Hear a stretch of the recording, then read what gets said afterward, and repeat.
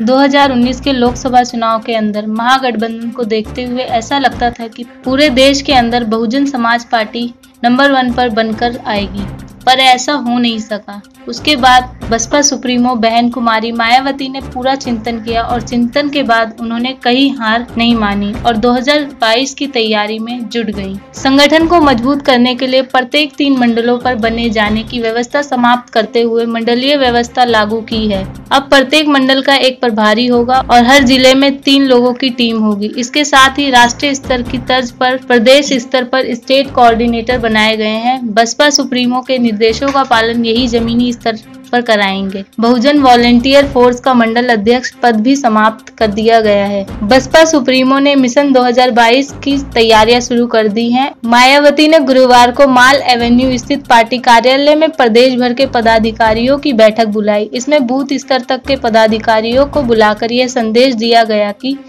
2022 में होने वाले विधानसभा चुनाव की तैयारियों में वह अभी से जुट जाएँ। प्रयोग के तौर पर विधानसभा उपचुनाव की सभी सीटों को जीतने का प्रयास करें। इसको देखकर लगता है कि 2022 के चुनाव में बसपा सुप्रीमो कुछ करके दिखाने वाली है।